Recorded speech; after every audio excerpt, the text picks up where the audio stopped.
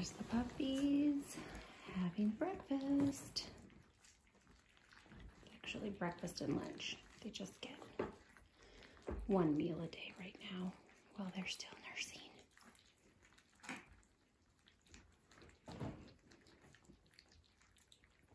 I'm trying to fit